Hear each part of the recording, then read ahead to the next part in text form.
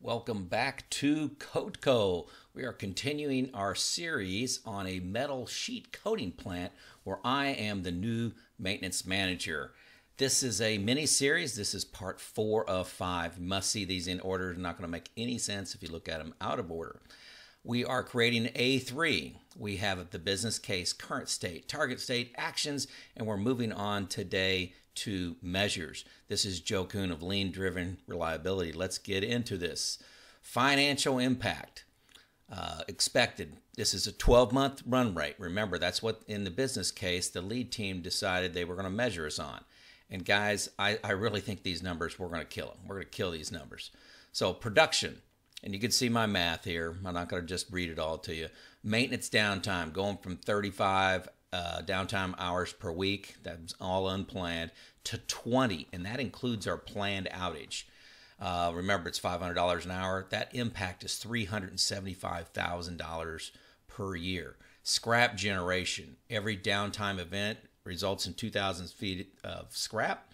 We're going to reduce that from 21 events down to 11, $250,000 a year.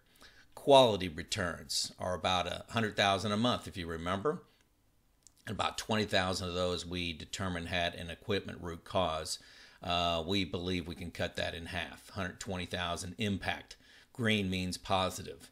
Total related savings that we believe we can be at a run run rate at in 12 months is 745. And again, folks, I really think we're going to start getting results in about three months, and I think we'll be we'll just kill this number here. Okay, uh, cost of these changes. Uh, PDM certifications, training of people. Okay, I got 12.5, uh, and that's a one-time cost, right? Uh, the CMMS system, there's 50,000 up front and then 12,000 a year ongoing. So you got to pay to get the system set up, get all your asset hierarchies in there, uh, pay for skills. Uh, this is something I really like having in there. Um, some organizations may choose not to do this, but um, this is what I would do if I was in the corner office.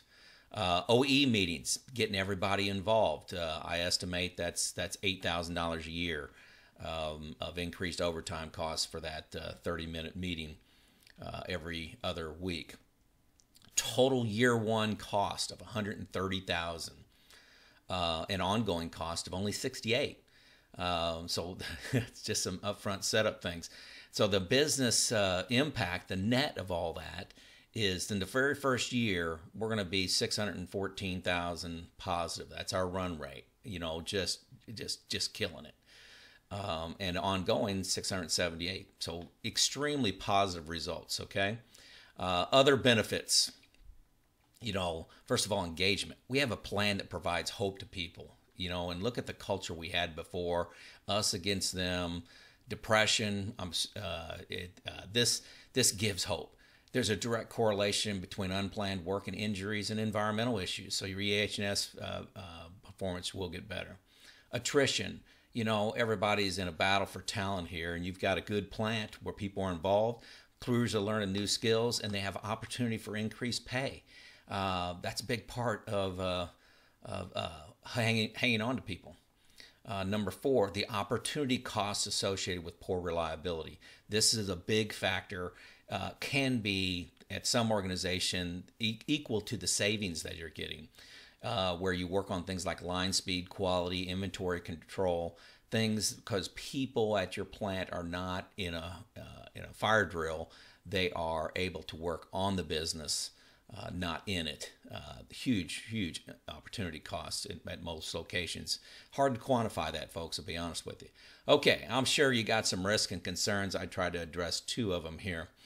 Uh, whoops. Uh, number one, uh, you don't have the real right skill set for the planner, PDM, or reliability engineer. Remember, that was fundamental. We took uh, uh, some of our engineers uh, or, or our craft people and put them into these roles.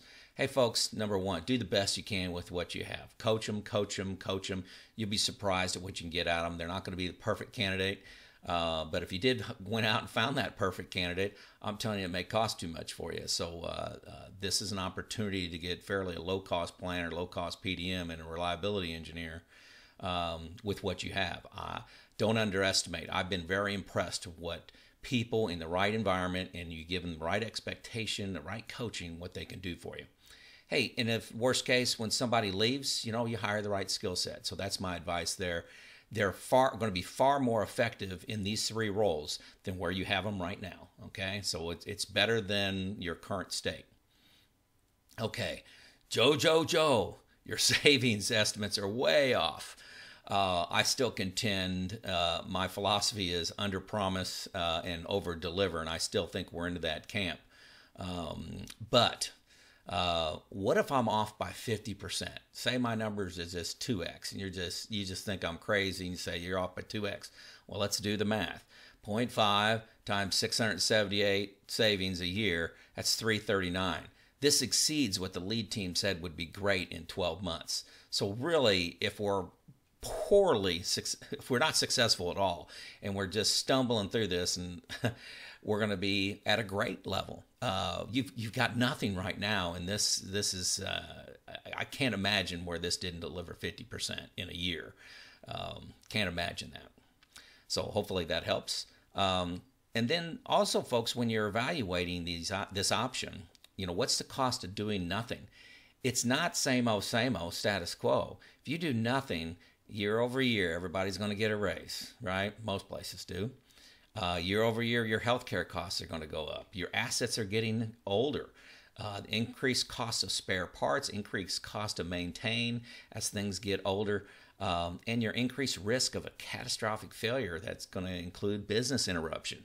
Hey, doing nothing is high risk, folks. Doing nothing, uh, I believe, is the riskiest thing to do.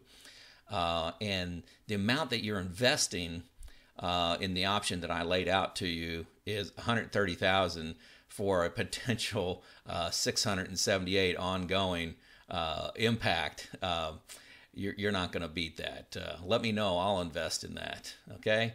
Uh, so, hey, number three here, your choice is to be a victim and just let things keep going or to lead. And I think I've given you an option that very low cost based in on observation and waste and rooted in best practices that gives rapid results.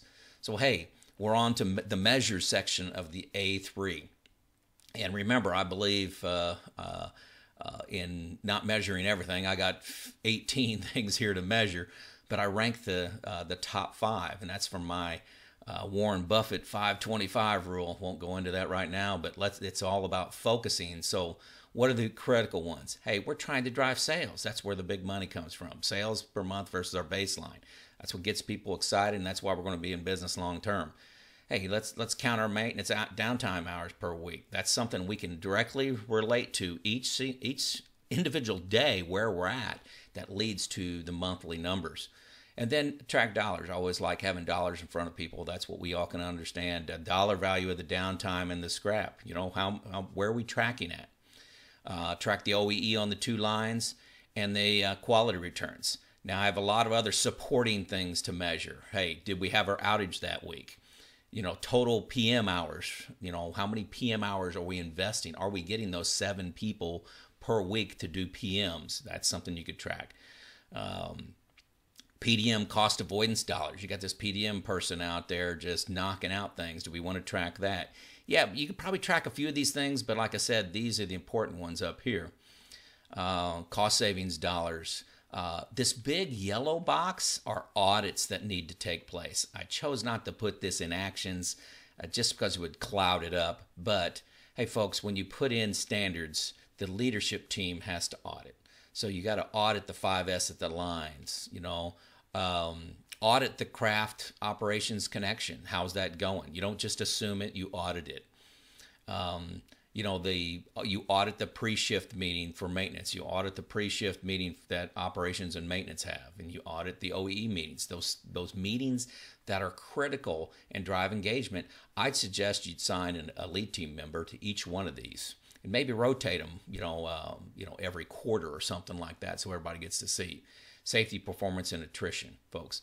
Okay, so hey, we've completed day three, folks. That's it.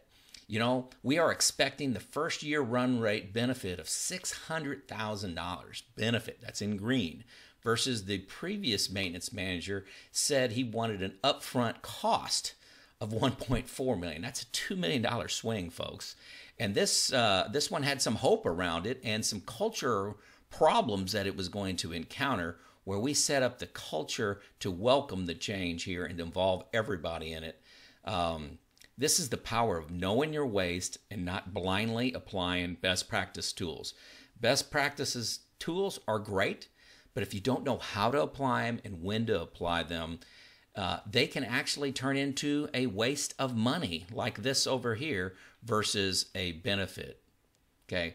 In the final video, you know, I'm going to have reflections, next steps, and culture change. I promise you it's going to be a short one, under about seven minutes.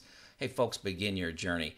I really don't think this stuff is that hard. Hopefully, I'm making it simpler for you that you can see where you're at now, me, mired in mediocrity, and the small actions you can take to start your journey of best practices and, and world class maintenance and reliability. You can get some free pointers from me via email and or uh, you know drop me an email uh, or make some comments on this YouTube video. Uh, and if you want an experienced guide, I guarantee I can shave years off your deployment. Hit like and subscribe. Thank you.